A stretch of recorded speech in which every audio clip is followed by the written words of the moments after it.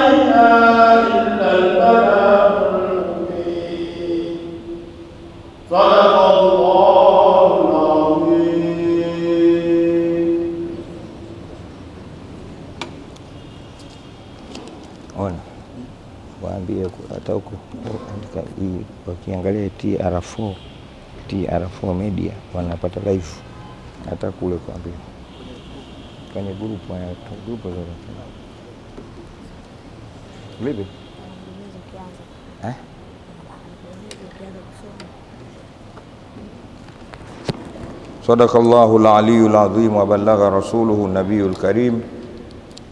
ونحن على ذلك من الشاهدين والشاكرين والحمد لله رب العالمين. إن أحسن الحديث كتاب الله وخير الهدي هدي نبينا محمد صلى الله عليه وسلم.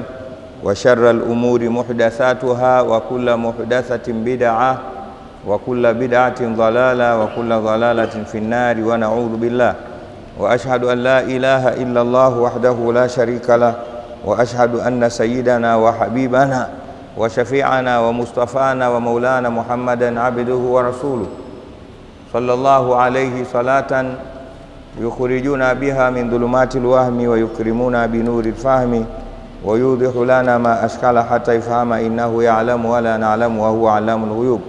Rabbi shrah li sadri wa yassir li amri wahlul uqdatan min lisani yafqahu qawli. Allahumma ja'alil qur'ana al-azima rabi'a qulubina wa shifaa sudurina wa jilaa humumina wa humumina wa dhahaba ahzanina wa kafaratan li sayiatina wa ziyadatan fi a'malina wa a'malina wa barakatan fi arzaqina ونور اللهم به بصائرنا وأبصارنا اللهم ذكرنا منه ما نسينا وعلمنا منه ما جهلنا فهمنا منه ما قرأنا وارزقنا تلاوته آناء الليل والنهار وأطراف النهار على النحو الذي يرضيك عنا واجعله حجة لنا لا حجة علينا يا رب العالمين Tunaendelea na darasa yetu ya tafsiri na tangu jana tulianza suratu Yasin.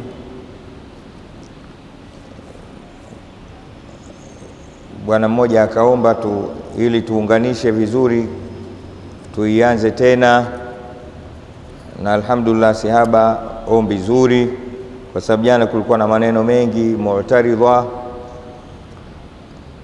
Tumesema suratu Yasin e, ni katika sura ambazo Mwenyezi Mungu Subhanahu wa Ta'ala amemshushia Mtume Muhammadin sallallahu alayhi wasallam tangu kipindi anaishi Maka, yani bado hajahamia Madina. Kwa maana hiyo, katika yale mafungu mawili ya sura za Qur'ani baina ya makia wa madania, suratu Yasini ni suratun makia, ni sura iliyoshuka na kunasibishwa na maisha ya Maka ya Mtume Muhammadin sallallahu alayhi wasallam. Sawa, na aya zake ni thalathu wa thamanuna aya, ni aya thamanini na tatu. Sawa sawa, ina jina lake ni Yasin, na tukasema jana kiufupi Yasin eh, ni kipande kilichochukuliwa katika taswiri ya neno insan. In insanu ni neno la Kiarabu, maana yake mtu. Mtu anaitwa insanu.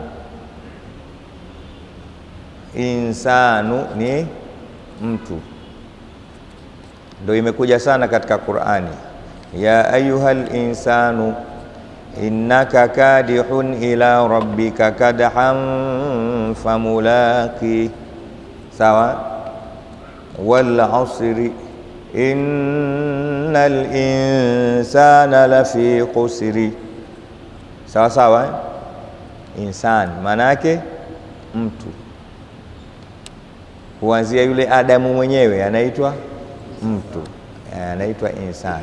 Sisi tunapata majina mawili, sisi ni ibnu Adam na pia ni Isa. Sawa sawa, ni insani, watoto wa Adamu. Adamu aitwe ibnu Adamu eh? kwa sababu yeye ndio baba mwenyewe.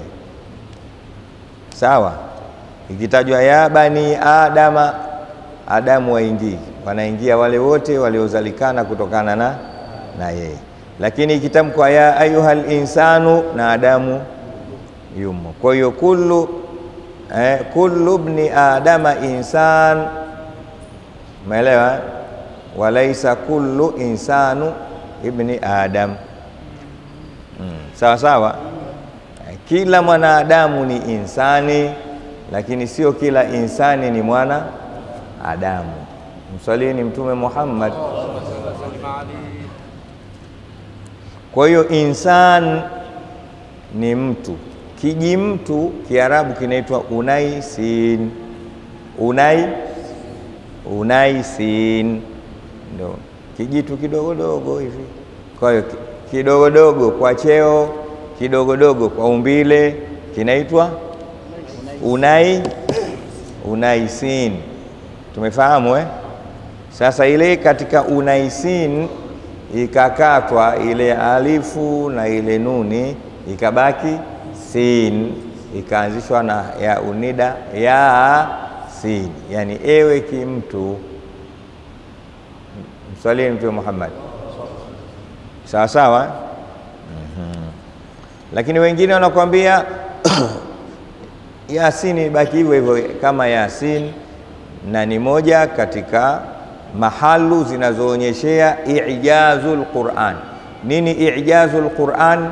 Ni zile sehemu zinazoishindisha Qur'ani mtu kuweza kutengeneza mfano wake, sawa sawa.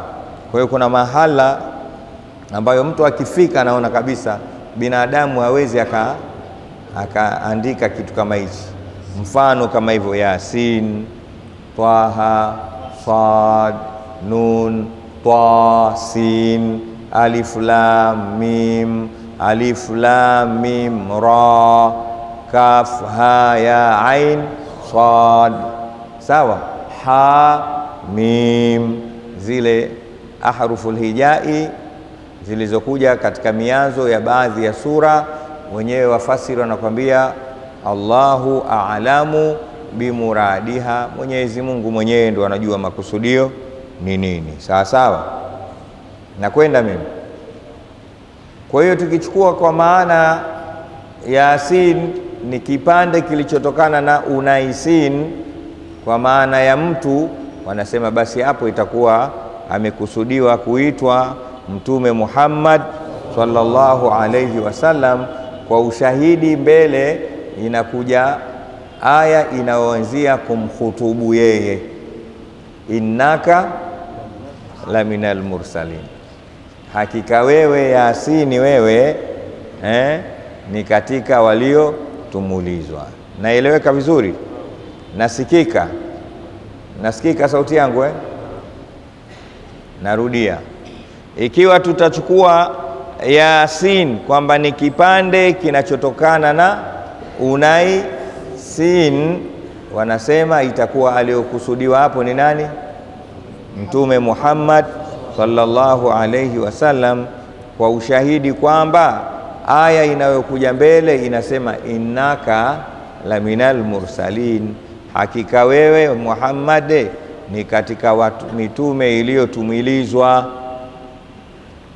Sawa, jana tuliyasema hayo kwa upana, leo najaribu kuyasema kwa ufupi fupi kidogo, na wewe ukitoka hapa ukaweze kumweleza mwingine kwa kiasi hicho, na Mwenyezi Mungu namuomba akupe maarifa zaidi, uweze kuingia ndani zaidi.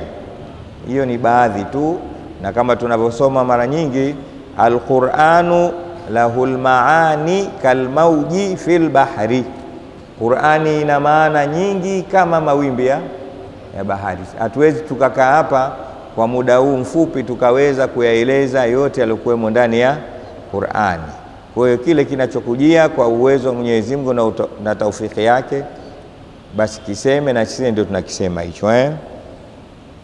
Yasin maana yake ewe Mtume Muhammad. Yasin ewe Mtume Muhammad, na tukaeleza jana kidogo kwamba baadhi ya fadhila zinazopatikana katika suratu Yasin haina haja kuzirudia eh? Tulisema isome sana hii kwa sababu kuna ishara ya maneno ya Mtume Muhammad sallallahu alayhi wasallam, anasema likulli shay'in lahu qalbun, likulli shay'in, kila kitu kina moyo. Likulli shay'in, kila kitu kina moyo.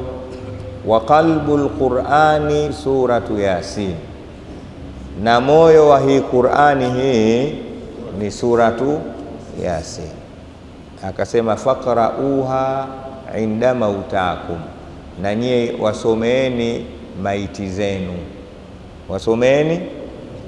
E, Mtume sallallahu alaihi wasallam ameelekeza suratu Yasini tuwasomee maiti, watu waliokwisha kufa. Sawa, ukitaka msomee mzee wako, shehe wako, rafiki yako, ndugu yako, waumini wenzio, na hilo ni jambo la msingi, jambo zuri sana, jambo la maana ambalo wengi tena tumejisahaulisha nalo.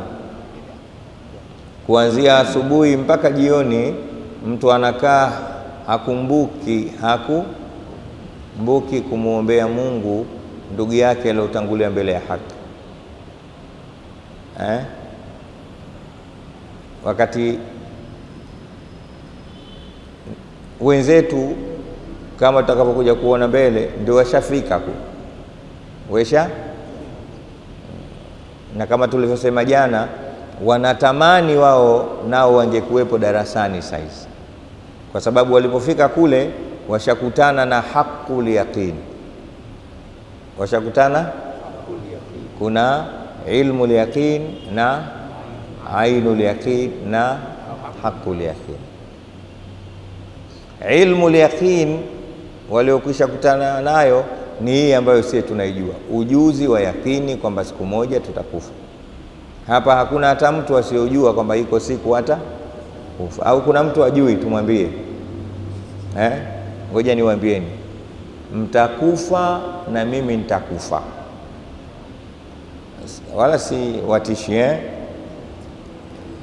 Mtakufa jamaa, na mie aya, basi natanguliza mie nitakufa na nyinyi mtakufa. Maanake kuna mtu mmoja aliachishwa kazi na bosi wake, aliachishwa kazi na bosi wake, kwa sababu ya kubishania nani aanze kufa. Alikuwa anaendesha gari yule bwana mbio, bosi yake akamwambia, bwana, taratibu. Anamwonyesha kuna kifo sawa na kuna kifo. Akaambia, mbona unanionyesha mimi kwanza? Kuna kifo. Basi ugomvi mpaka akaachishwa. Kwa wote tutakufa eh? Watu wa huku kwetu kusini huku wanasema kupela nkupela, kufa nkufa tu, umeelewa eh? Eh. man lam yamut bisaifin mata bighairihi taaddadat lasbabu walmautu wahidu. Man lam yamut bisaifin, asiyekufa kwa upanga, mata bighairihi, atakufa kwa kitu kingine. Kufa nkufa. Taaddadatil asbabu, sababu za kuua ni nyingi sana. Walmautu wahidun, na kufa ni kule kule tu. Ndio maana uwezi ukawakuta watu wawili wamekufa ukasema jamaa kafa sana, lakini huyu kidogo ana afadhali, huyu kidogo. Ushai kumwona mtu kafa nusu, kalala huyu. Sawa sawa.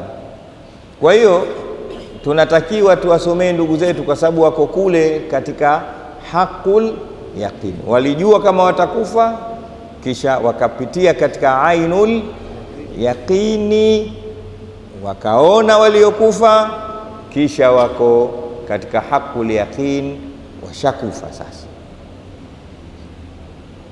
Tumeelewana vizuri? Hiyo ndio tofauti ya ilmul yaqini na ainul yaqini na haqul yaqini. Ilmul yaqini ni kujua kwa yakini kwamba iko siku tutakufa.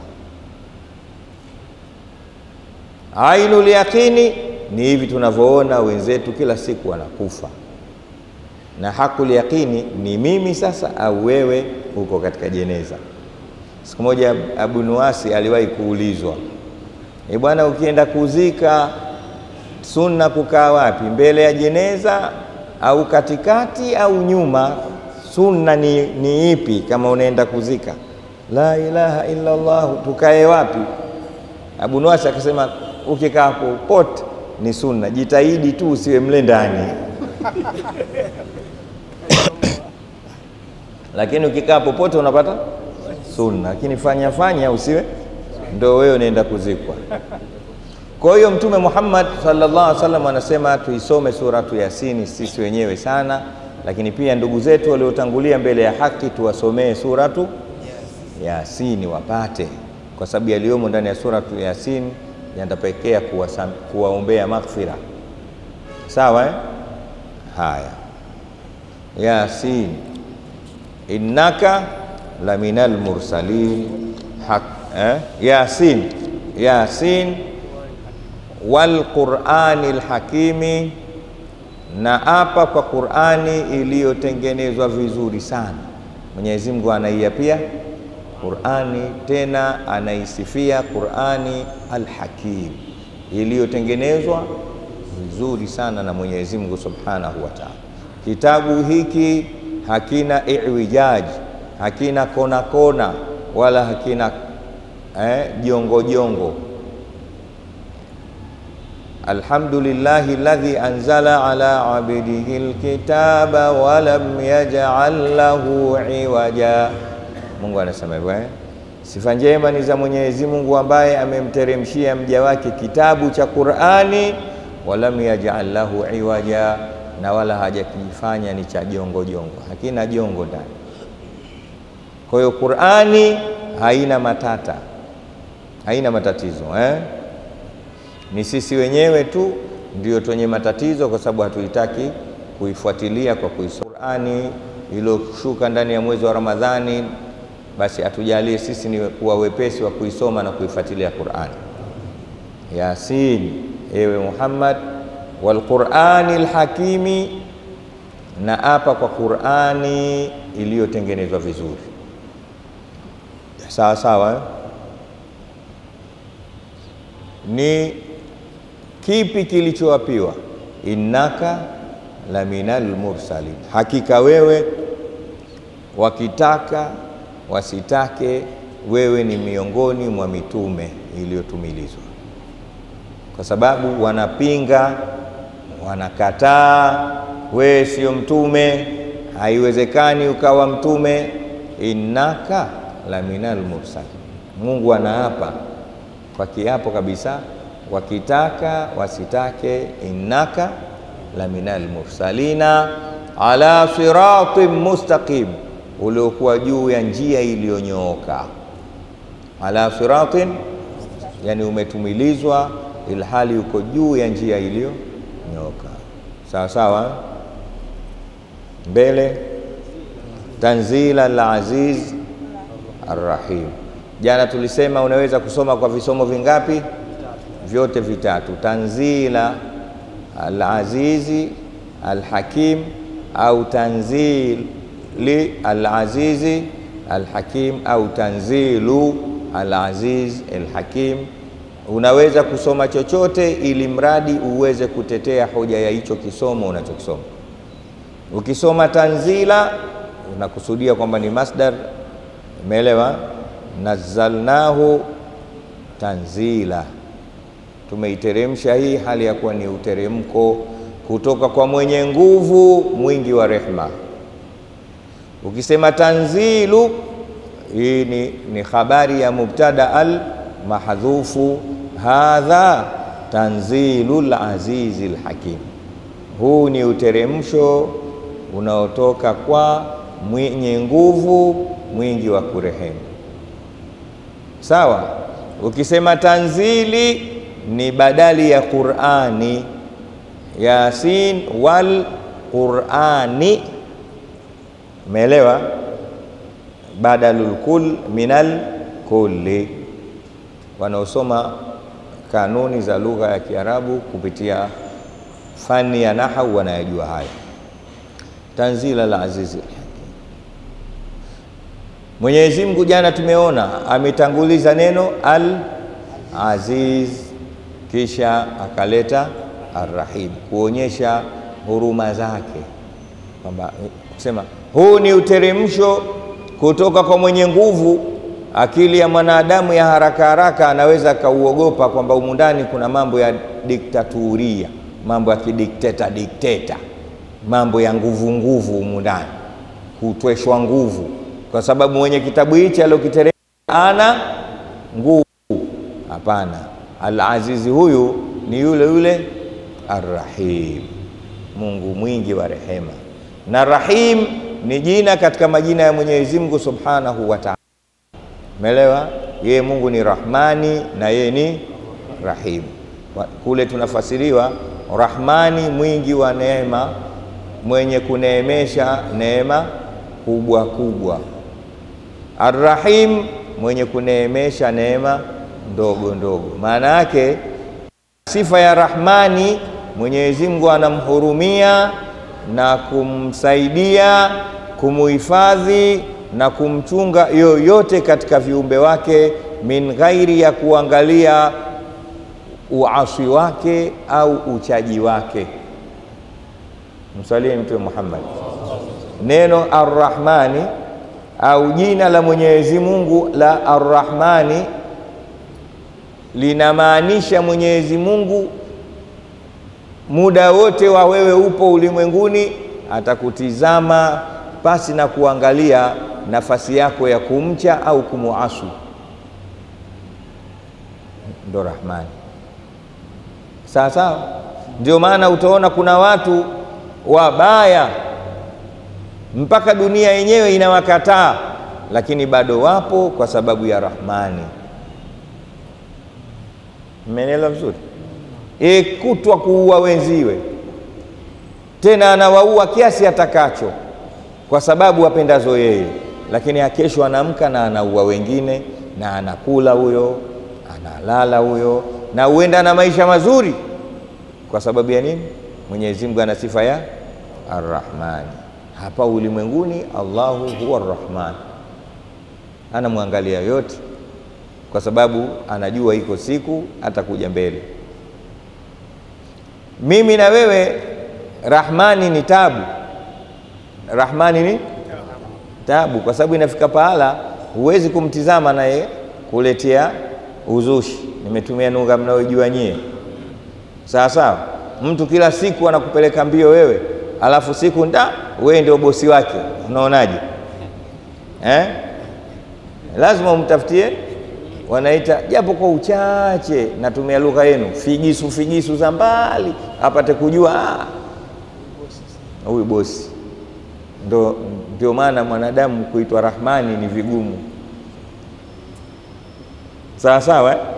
Eh, mwanadamu kuitwa Rahmani, yaani hiyo hapo mtakata umwanisi, alafu unaingia katika anga zake, anakutizama tu Ah, huyo kajaliwa mwenyewe, anaanzia mbali sasa. Ah, kwani mimi mtume? Kwani mimi nimetolewa nyongo? Hujua anakuadhibu huyo. Umeelewa? Mwenyezi Mungu Subhanahu wa Ta'ala, yeye ni Rahmani jalla jalalu, tuwe tutakavyokuwa, tena ana maneno ya huruma Qul ya ibadiya alladhina asrafu ala anfusihim la taqnatu min subhana la taqnatu min, waambie yenyi waja wangu ambao wameharibu mno, ndio asrafu ala anfusihim, wameniasi sana, waambie la taqnatu min rahmatillah, wasikate tamaa na rehma ya Mwenyezi Mungu. Mimi ni Rahmani. Umeelewa eh? hmm. innal ladhina fatanu wal thumma la yatubu falahum adhabu jahannam walahum adhabun hariq. Mnaikumbuka sura hiyo eh? Ukiitizama aya hii utamuona Mwenyezi Mungu Subhanahu wa Ta'ala. Kuna watu wanaitwa ashabul ukhdudi, ashabul hawa ashabul ukhdudi, watu waliofikia elfu sitini watu elfu sitini waliochimbiwa mahandaki yaliyokokwa na kujazwa moto kisha wakatumbukizwa kwa sababu tu ya kusema la ilaha illa Allah. Waliwakamata watu wewe nini? Ah, mimi la ilaha illa Allah, tungoje pale. Mimi la ilaha illa Allah, subiri pale. Wakajazwa wakafikia elfu sitini, wakatiwa katika mashimo kwa sababu tu ya kusema. Sasa tizama, Mwenyezi Mungu na rahma yake anasema kuhusu hawa waliowaunguza wale, maanake wanaingia motoni wale lakini wameingia motoni kwa kutaka wao wenyewe na wala sio kwa kitendo hiki cha kuwachoma wale. Mmenielewa? Mimi Kiswahili changu cha pwani pwani kidogo. Hawa waliowachoma watu elfu sitini kwa kuwatia katika maandaki wameingia motoni kwa ushahidi wa aya niliyosoma. Lakini ni kipi kilichowaingiza motoni? Ni kule kuwachoma wenziwe katika mahandaki kwa sababu tu ya kutomwambia Mungu tusamehe. Laiti angemwambia Mungu tu samehe, angewatia peponi pamoja na kuwaua watu elfu sitini. Msalie Mtume Muhammad. Huyo ndio Mwenyezi Mungu Subhanahu wa Ta'ala.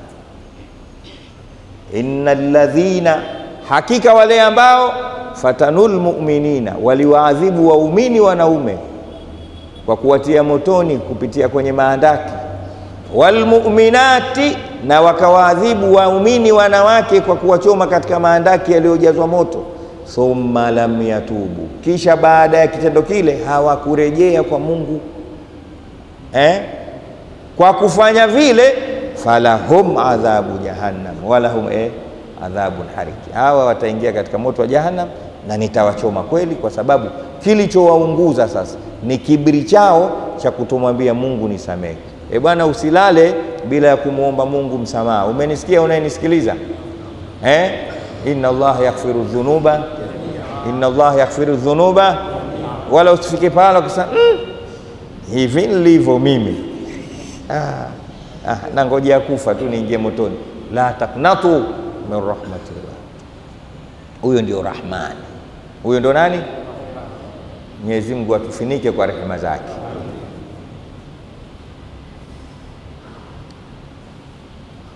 Tanzila al-Aziz arrahim. Qurani hii ni uteremsho wa mwenye nguvu ambaye ni Mwenyezi Mungu, lakini sio miguvu miguvu eh? Rahim, mwingi wa rehema. Jina lake lingine Mwenyezi Mungu badala la Rahmani ni Rahim. Sasa Rahim tunafasiriwa na wazee wetu mwenye kuneemesha neema ndogo ndogo, yani mwenye kuneemesha neema makhsus kwa wale waliomtii wakamwamini wakaishi kwa mujibu watakavyo yeye. Hawa wana fungu lao maalumu ambalo linahusika na jina la Rahim. Mmenielewa vizuri eh?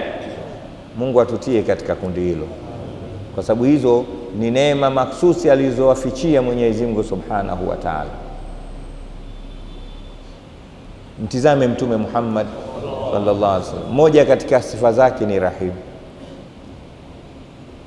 Laqad jaakum rasulun min anfusikum azizun alayhi ma anittum harisun alaykum bilmu'minina raufu rahim. Ni Mtume Muhammad, Mwenyezi Mungu mwenye rahim Jibril alayhi salam siku moja alisema laqad sadaka man samaka raufan rahima, laqad sadaka man samaka raufan rahim, amesema kweli yule ambaye amekupa jina wewe ni rauf, mwingi wa kusamehe, rahim, mwingu mwingi wa kurehemu. Ilikuwaje? Siku ile alivyopigwa kule Taif, kipigo cha mbwa koko na akafikia pahala akamuomba Mwenyezi Mungu kwa kumwambia, unaniachia nani mimi? Watu wananipiga na wanachonipigia ni hiki ulichonituma wewe kuwaambia wao wa kuabudu wewe, ya Rabb, Wamenipiga mpaka hali nilokuwa nayo. Mwenyezi Mungu Subhanahu wa Ta'ala akawatuma malakul jibal waende kumwambia Mtume Muhammad anataka nini. Mungu pale tena kasifika, anataka wakaja e, bwana Muhammad wako hatari. Mungu ametutuma kwa hichi kipigo, unasema tuwafanyeje hao? Akaba ah, sikuomba hilo, sikuomba. Akamgeukia Mwenyezi Mungu akamwambia, ya Rab, mimi sikuomba hilo eh? hawa hawa ni jui tu, asiyekujua akusamini, Hawa hawanijui maadamu hawa wamenipiga basi wewe wasamehe hawa.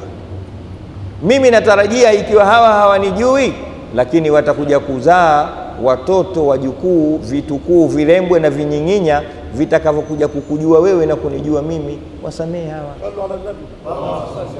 Mtume Muhammad sallallahu alaihi wasallam anawanusuru watu kwa kuangalia future, future, kizazi kijacho, new generation ambao ni mimi na wewe tuliokaa hapa Kaambia waache Mungu wa, waache.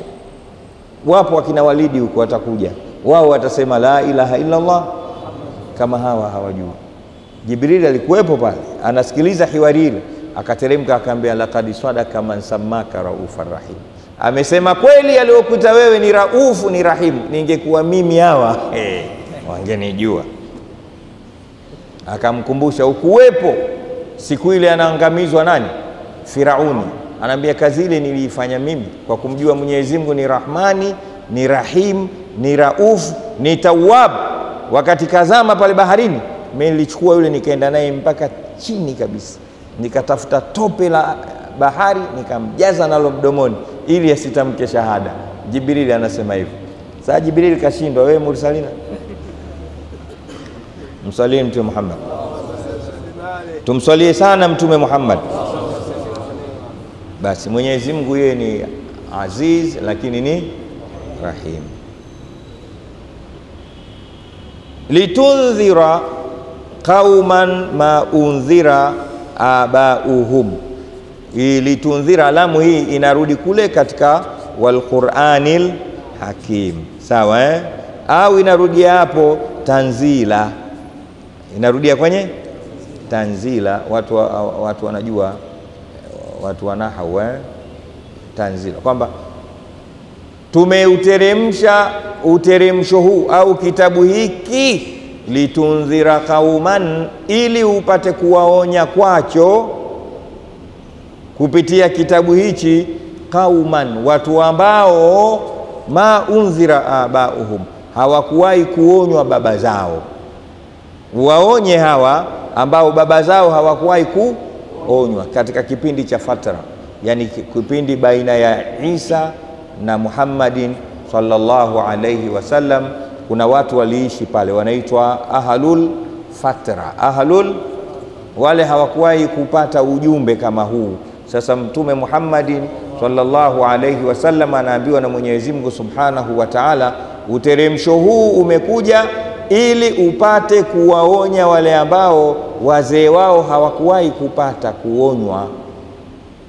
Tumeelewa na fahum, basi hawa ghafiluna ni wenye kujighafilisha, ni wenye kughafilika, kwa sababu hawakuwahi kuyapata haya, kana kwamba kusema kuna baadhi ya watu unaweza kuona hawa ndio, kwa nini sio Waislamu?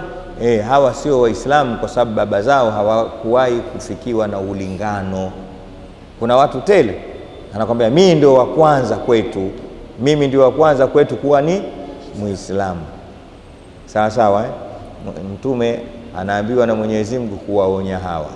Hii haimaanishi kwamba Qur'ani inawahusu watu wale wa Maka tu, haimaanishi hivyo eh? Lakini kwa sababu ndio imeshushwa Qur'ani katika ujirani wao na wale ndio wa kwanza kupokea ujumbe, tumeelewana? Basi Mwenyezi Mungu anasema nao kupitia kwa Mtume Muhammad sallallahu alaihi wasallam, lakini Qur'ani ni ya watu wote, wama arsalnaka illa rahmatan lil alamin. Tumeelewana vizuri eh? Usije ukasema ah, hii Qur'ani ya watu wa Maka tu, sisi hatumo. Hapana, hii inasemwa hivi kwa sababu wao ndio walioipokea mwanzo mbele ya Mtume Muhammad, lakini ndio mtu alioambiwa, watu alioambiwa wafikishie kwanza, waandhir ashiratakal aqrabina, wakofishe watu wako wa karibu kwanza. Na hata wewe ukitaka kufanya kazi ya dawa, basi tumia usulubi huu, anza kuwapa dawa watu wako wa nyumbani. Watu wengi tunakosea Utamkuta mtu akija hapa msikitini anavyofoka anavyotupa mawaidha, lakini akiwa nyumbani wala hana mpango huo, na watu wake ndio wanahitaji zaidi jambo hili. Uongo uongo eh? Ukimkuta mtu namna alivyo hamaki kutoa waidhi, lakini ukienda kijijini kwao ukiona anavyoishi na watu wa kijijini Eh, Sheikh Jafari unalionaje? Eh, sasa unatakiwa uanze kule kijijini mtaani kwako. Ndio mwaka jana hapa kuna mtu mmoja aliwahi kuniuliza tufanyeje Waislamu tuwe na nguvu tuwe kitu kimoja. Nikamuuliza wewe unakaa wapi? Akanambia mimi nakaa Magomeni. Mtaa gani? Mtaa fulani, akautaja. Nyumba unaokaa yako au umepanga? Nimepanga. nkaambia vizuri sana. Wapangaji wangapi huko wako hapo? Ajui hata wangapi. Nyie wapangaji mkoa wangapi? ajui Nikaambia bado. Wewe unafikiria umoja wa kitaifa wakati umoja wa kaya umekushinda. Hili ni kosa. Kabla ya kuangalia umoja na maendeleo ya kitaifa, anzia pako. Sijui umenielewa vizuri? Na ukifanikiwa pako utapata jeshi la kukusapoti na kukupa nguvu. Mkija na dawa kwetu sisi itatuingia, na ndio usulubu aliotumia Mwenyezi Mungu kwa Mtume Muhammad, wa andhir ashiratakal aqrabina, waonye kwanza ndugu zako wa karibu. Alifanya kazi hiyo kwa muda miaka mingapi? Mitatu. Mtume Muhammad sallallahu alaihi wasallam ana kipindi kinaitwa da'watu yani ulingano wa siri kwa muda wa miaka mitatu, anaongea na watu wake, mjomba wake, baba yake mkubwa, mdogo wake, mkewe, shemejie, binamu yake, ndani ya miaka mitatu, mpaka alivyokaa vizuri pale, ndo akaambiwa fasda bima tu'mar wa a'rid anil mushrikin. Sasa toka mtaani, fasaida ala Swafa, akapanda jabal Swafa. Sio mchezo, miaka mitatu, sio mche lakini mimi na wewe tunataka ndani ya siku tatu tushaweza kulingania hapa Magomeni, Mtwara, Lindi. We nani na kwa njia gani? Umenielewa Taufiki? Kwamba sisi Waislamu wangapi? Mmenielewa? hapo e, ulipokaa pale pale nyumbani pale, anza pale taratibu. Ukitoka pale maskani kwako mnaocheza zumna na drafti pamoja, au pale unapokunywa alkasusi pale, anza kupiga dawa pale. Tena jipe muda. Kujipa muda katika kufanya kazi ni kitu kizuri sana, yani strategy. Nimemwambia watu fulani juzi, nilikuwa na mawaidha pahala, nikaambia Mwenyezi Mungu akitaka kufanya mambo hutumia nini? kun fayakun. Innama amruhu idha arada shay'an an yaqula lahu kun fayakun. Ndio sura hii inavyomalizikia eh? fa subhana alladhi biyadihi malakutu kulli shay'in wa ilayhi eh, turjaun. Sura hii inaishia hivyo kwamba Mungu akitaka kufanya jambo uliambia kun, jambo lile huwa. Innama amruhu idha arada shay'an an yakula lahu kun fayakun. Akitaka kufanya jambo uliambia jambo kuwa, nalo linakuwa, si ndio hivyo? Lakini tizama katika kuumba mbingu na ardhi alisema kun eh? Alifanyaje? Ameumba mbingu na ardhi. Fi sitati ayami thumma stawa ala al-arsh. Arrahmanu fas'al bihi khabir. Sawa sawa. Watawakkal ala alhayy alladhi la yamutu wasabbih bihamdih wakafa bihi bidhunubi ibadihi khabira. Alladhi khalaqa sab'a alladhi khalaqa as-samawati wal ard fi sittati ayamin thumma stawa ala al-arshi ar-rahmanu fas'al bihi khabira wa ibadur rahmani alladhina yamshuna ala al-ardi hauna. Eh, Qur'ani tamu sana, sawa eh? Anasema Mwenyezi Mungu ameumba mbingu na ardhi katika siku sita. Mwenyezi Mungu anahitaji siku sita katika kufanya kitu? Siku sita, uwezo aliokuwa nao kun fayakun, ana haja ya siku sita? Siku sita Mungu zinahiji, lakini kwa nini siku sita? Hii anatufundisha sisi, ukitaka kufanya mambo makubwa jipe, jipe muda, jipangie, jitengezee time frame ndio maanake nitalifanya jambo hili kwa kiasi kadha, lakini nitaanza hapa, nikitoka hapa nitafanya hapa, nikitoka hapa. Sio sabaha lala hii ha time yote wewe ushakuwa shekhe. Unataka yani siku ile umepata shahada yako, watu wote wakukubali na ilmu uliokuwa nayo. We mbona ukukubalika kwa siku moja? Umekaa umesoma kwanza miaka miwili au mitatu, kisha ukaja miaka saba, kisha baada ya miaka saba minne kisha baada ya minne miwili, kisha ukaenda chuo eh? Inategemea kozi, ima miaka mitatu kama daktari, miaka mingapi?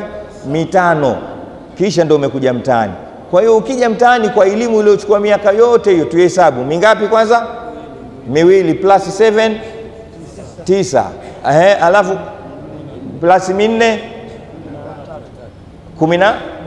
kumi na tatu, ongeza miwili kumi na tano ongeza mitatu kumi na nane kama unaongeza mitatu tena Ishir. elimu iliyosoma ilmu miaka ishirini na moja sie tukukubali siku moja? Wewe una kichwa gani na sie tuna kichwa gani? Tatizo tuliokuwa nalo sisi wasomi na mashehe, sisi elimu umeikimbiza miaka ishirini na moja siku ukipanda juu ya membari, siku hiyo hiyo ukiwaambia watu unataka watu wote kwambe walidi yoyaoya. Ah, we nani? Lazima atoke huyu akupinge, yule akutukane, huyu akukubali, yule akukatae. Wewe usikate tamaa, jiwekee strategy kidogo kidogo. Yule yule aliokuwa anakukataa one day, yes, kwa njia utakazompitia atasema huyu mtu hatari sana, anajua huyu. Mmenielewa vizuri? Usikurupuke, sijui mnanielewa. Mashehe wadogo wadogo kidogo tu, mimi siwezi hapa, mimi siwezi. Uwezi nini wewe? Mtume Muhammad sallallahu alaihi wasallam strategy yake ameanza kufanya dawa tusiria miaka mingapi? Mitatu. Kisha akakaa Maka miaka mingapi? Amjui. Kisha akaenda Madina miaka mingapi? Yani lazima ujue hilo, na alifanya mambo kidogo kidogo. Alikuja mtu kama Saidna Umar siku moja kamkuta Mtume Muhammadin sallallahu alaihi wasallam amekaa katika moja ya viguzo vya Alkaaba wakati yuko Maka, hajahamia Madina bado, kajifunika mtandio wake mwekundu kama vile mtu mwenye huzuni. Na Saidina Umar ilikuwa tayari kesha silimu, akamwambia ya Rasulullah, alasna ala alhaq, mbona umekaa kiunyonge eh? Kwani si hatupo kwenye haki? Tutoke tukawakatakate vichwa mara moja, kata uwa? Akaambia bado utafika wakati mimi au nyinyi, ataweza kuondoka mtu hapa Maka mpaka Swanaa. Jangwani peke yake pamoja na mbuzi wake, hamuogopi yoyote isipokuwa Mwenyezi Mungu Subhanahu wa Ta'ala, na kila anayemwona yeye atakuwa anamwogopa yeye. Ulifika ukufika wakati, lakini vurugu kwa mipango kidogo kidogo, na sie Mwenyezi Mungu atufikishe hapa. Lazima tuwe tuna moyo wa kutahamal, moyo wa kuna kitu inaitwa tahamuli nafsi. Ukikosa tahamuli nafsi, wewe mtu wa uh, dawa utafeli, kwa sababu binadamu hawa wako wengi na kila mmoja anakuja na staili yake. Huyu fedhuli, huyu jeuri, au watu wawili tofauti eh? Huyu fedhuli, huyu jeuri, huyu kiburi. Wangapi huyo? Watatu. Huyu bahaluli, wangapi huyo? Huyu safihu, wangapi huyo? Huyu jahilu, wangapi huyo? Huyu ahmaki, wangapi huyo? Hawa ni mafungu ya watu wasiojua kitu. Kuna ahmaki, kuna jahil, kuna safihi, wote wajue kwamba ah, hii ndo eh, safihi type hii, ujue namna ya kwenda naye. Mmenielewa vizuri? Eh, tuna kazi lakini, lakini eh, wangapi basi wanayajua haya? Kwa hiyo ukitukanwa, ukikataliwa, na wewe unanyongea, umekosea vile ukitukanwa, tizama huyu, kwa nini kanitukana? Eh, juzi juzi kuna mtu mmoja amenambia shekhe, ah, nimesoma komenti moja bwana, unatukanwa. Nikamwambia sawa sawa, kipo kilichopelekea nitukanwe? Ah, mi siwezi hivyo. Uwezi wewe, lakini mimi acha nitukana. Yule atakayenitukana, iko siku yule yule atakubali, yule naye atasema kuna mtu anakutukana huko, lakini yeye alinitukana pia. Ndio ilivyokuwa. Haya, litundhira qauman ma undhira abauhum fahum ghafilun, tumekuteremshia uteremsho huu ili upate kuwaonya watu ambao ma undhira abauhum, hawakuwahi kuonywa wazee wao, yani baba zao katika kipindi cha fatara. Fahum ghafilun, basi hawa watoto wao wameghafilika, uwazindue. Tumeelewana eh?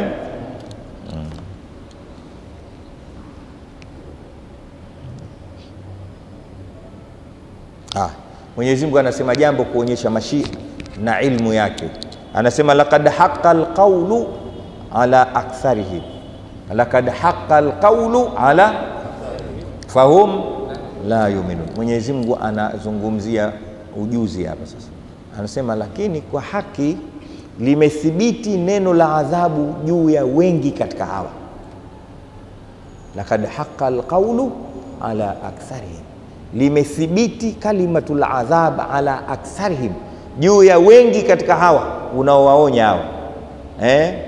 Mungu alishaona kwamba hawa kwa namna walivyo hawatokuja kumkubali Mtume Muhammad sallallahu alaihi wasallam, lakini alimwambia awache, kamba endelea tukufanye eh, lakini hawa lakad haqa alqaulu ala aktharihim, lishathibiti neno la kuadhibiwa, fahum la yuminuna, hawa kamwe hawatoamini. Na kweli wengi katika watu wale hawakumwamini Mtume Muhammad sallallahu alaihi wasallam, lakini hakuacha Mtume, aliendelea kuwaonya, kuwalingania, japokuwa Mwenyezi Mungu alishajua kwamba hawa wengi wao hawatoamini. Ya jamaa, Mwenyezi Mungu hapa sote tulokaa anamjua nani wa peponi, nani wa motoni,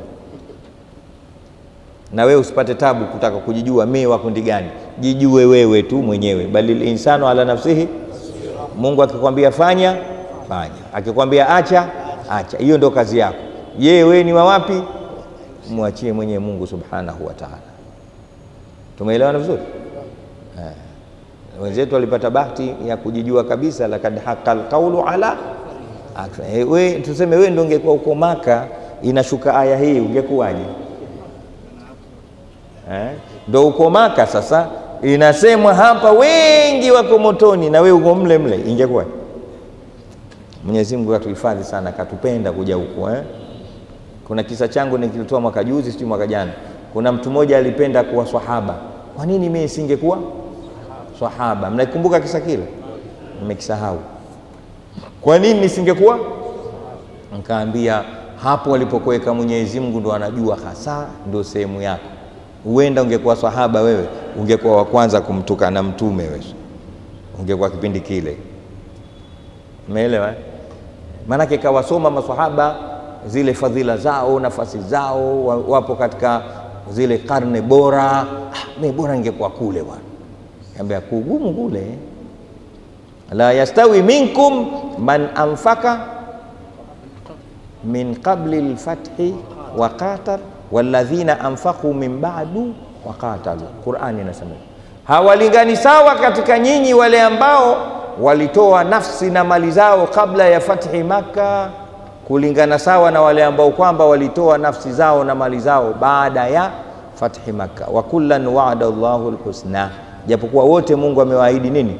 Pepo, lakini hawa ni watu wenye daraja mbili tofauti. Wale watu waliokuwa na Mtume Muhammad sallallahu alayhi wasallam wakaupigania Uislamu kabla ya Maka kukombolewa, hawa wako daraja ya juu sana ukilinganisha wale waliokuja kufanya hivyo baada ya fathi Maka, kwa sababu wale wa mwanzo walipata tabu kweli kweli. Tabu yao ukiambiwa, chukua tu mtu kama Yasir. Nani Yasir? Alipata tabu, akaadhibiwa, akauliwa yeye na babake na mamake na watoto wake mbele, kila mmoja anaona, anaona wanavyoadhibiwa kwa sababu tu ya kusema la ilaha illa Allah. Tizama tabu alizochukua Bilalu bin Rabah. Mpaka akaja Saidina Abubakari akamkomboa akamnunua, kawakuta wamemwekea jiwe wanamgaragaza katikati ya jua la Maka, sio jua la hapa, jua la wapi? Kaekiwa jiwe, anapigwa mijeledi, anasagwa nalo, anaambiwa kufuru, yeye yeah, ataki, anasema ahad. Ahad, pigwa, anasema ahad, akipumua pumzi zake zinatoka na damu, akivuta anavuta vumbi la, la damu, anasema ahad, mpaka akatokea Saidina Abu Bakar akaambia, ataktuluna rajulan an yaqula rabbi. E jamaa, mmefikia kuamua kumuua mtu kwa kosa tu la kusema mola wangu wa haki ni Mungu nyinyi? Akaambia huyu ana adabu, mshenzi huyu, kwanza mwafrika huyu, pigwa. Akaambia hapana, msifanye hivyo. Kwani uh, wanani mwenyewe akasema huyu mtumwa wangu mimi, akamwambia niuzie. Akamnunua kwa bei kubwa sana, na baada ya kumnua pale pale akamwambia nimekuacha huru, wewe uko huru. Ndio watu wanasema Sayyiduna Abu sayiduna, yani Abu Bakaru sayyiduna sayidana, sayyidana, Abu Bakari ni bwana wetu, amemwacha huru bwana wetu. Bilali bin Rabahi, yule muadhini wa kwanza wa Mtume Muhammad sallallahu alaihi wasallam amechoropoka katika mikono ya makufari katika staili kama hiyo. Tumeelewa na eh? Basi hapa ulipofika eh, ndo Mungu alipokukitari baada ya kuona nafsi yako wewe. Ukisikia zile pancha tu unatoka msikitini sasa. Wenzio walikuwa wakisikia ile wanakwenda na walikuwa wanapendana, walikuwa kitu kimoja na walishinda kwa sababu ya umoja wao kupambana ka. ilikuwa hakuna kusakiziana tabu. Walikuwa wanavuka moja katika mito kwenda kupeleka Uislamu mbele, na upande wa pili kuna jeshi linawasubiri, wakifika tu wawaswage wawapige. Hawana kitu cha kuvukia, hawana mtumbwi, hawana chochote, lakini wanataka kupeleka Uislamu ng'ambo. Wakaamua tupige mbizi. Amiri akamwambia tupigeni mbizi tuvuke. Hawakuuliza kuna mamba, hawakuuliza kuna viboko, hawakuuliza kuna chochote wameambiwa tuzameni, tutokee upande wa pili, yalla. Tumeelewana? Hawakutaka kujua kina cha yale maji, hawakutaka. Wewe hapa nikikwambia tu tutoke siku nne, unaanza watoto wangu nini. Kaja mtu mmoja juzi ananiambia, bwana Walidi, mimi nataka kusomesha. Nikaambia unataka kusomesha, karibu tusomeshe.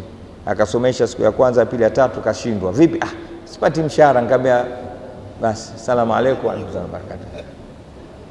Nataka mshahara. Wallahi, kazi hii ina mshahara mkubwa, lakini lazima uipatie namna ya kuifanya.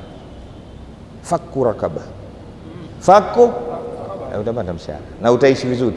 mpaka watu watakushangaa, watakwambia vitu vya ajabu ajabu. Yule ah, sio bure, sio bure, yule ah, umeelewa? eh? Hapana, kazi ina mshahara mkubwa sana kutoka kwa Mwenyezi Mungu Subhanahu wa Ta'ala, mwingi. Basi wale wakavuka, amiri kawaambia fanyeni, wakapiga mbizi, wakavuka. Kabla hawajavuka, katikati likaja wimbi kubwa, mkondo ukafuta. Mmoja katika wao begi lenye vyombo vyake likachukuliwa na wimbi, likaandukia upande wa pili, likazama. Akasema al inaa al e, vyombo vyangu, yani kasikitika.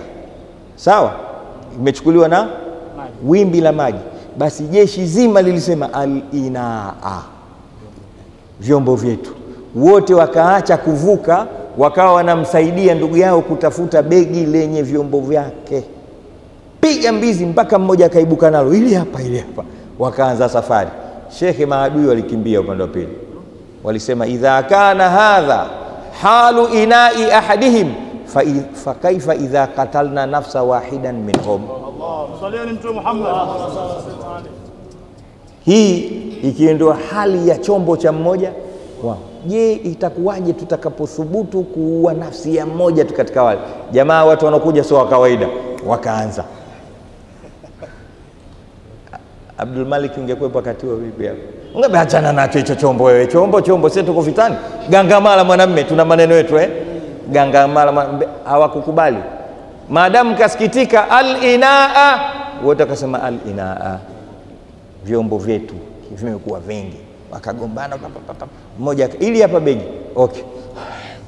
Yalla bismillah takbir wanakwenda. Maadui kule nduki. Mnanielewa vizuri? Soma tarehe uwaone watu wanaume walivyotokea huko nyuma eh? Haya, litundhira qauma ma undhira abahum fahum ghafilun lakad haqa alqaulu ala aktharihim fahum la yu'minun. Allahu wa rasuluhu alam, Allahu wa rasuluhu alam. Maneno ni mengi na Qur'ani ndio ilivyo hiyo, inaweza ikatuchukua mpaka kesho. Inshallah tuishie hapo, na wengi wanafuturu mbali na darasa yetu ni endelevu inshallah. Kesho tutarudi tena. rabbana fana bima allamtana rabbi allimna alladhi yanfauna rabbi fakirna wa faki ahlana wa qarabatin lana fi dinina ma ali lkutri untha wa dhakar rabbi wafikna wa wafikum lima ترتضي قولا وفعلا كرما وارزق كل حلالا دائما وأخلا أتقياء علما. نحظى بالخير ونكفى كل شر. ربنا أصلح لنا كون وأكر من رضا منك العيون واقض عنا ربنا كل الديون قبل أن تأتينا رسل المنون. واغفر سر أنت كرام ستر وصلاة الله تغشى المصطفى من إلى الحق دعانا بالكتاب فيه للناس الشفاء وعلى الآل الكرام شرفا وعلى صاحب المصابيح الغرر عالما. siri wa afa mustajiba da'awati. Rabbi fahimna uluma bi rasulillah wa halul anal mushkilati miwani yangu we jana uliipinda.